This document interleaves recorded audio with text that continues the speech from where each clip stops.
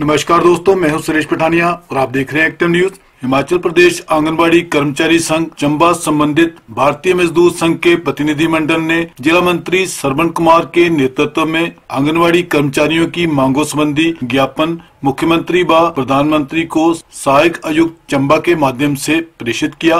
पेश है संबंधी हमारे सहयोगी राजेंद्र ठाकुर की एक रिपोर्ट। कुमार, भारतीय मजदूर संघ जिला चंबा, जिला मंत्री। आज जो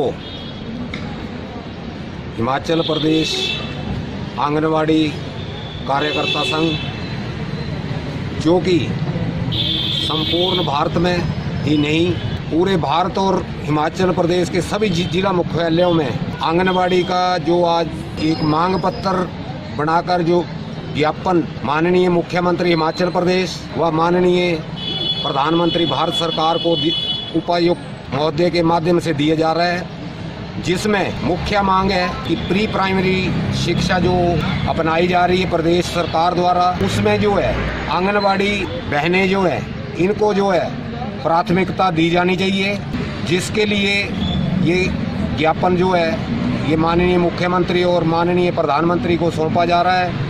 अगर इसमें प्रदेश या भारत सरकार कोई आनाकानी करती है तो पूरे भारत में जो है, भारतीय मजदूर संघ जो है, इसके ऊपर जो है, कड़ा रवैया अपनाकर पूरे भारत में जो है आंदोलन की नीति अपनाएगा।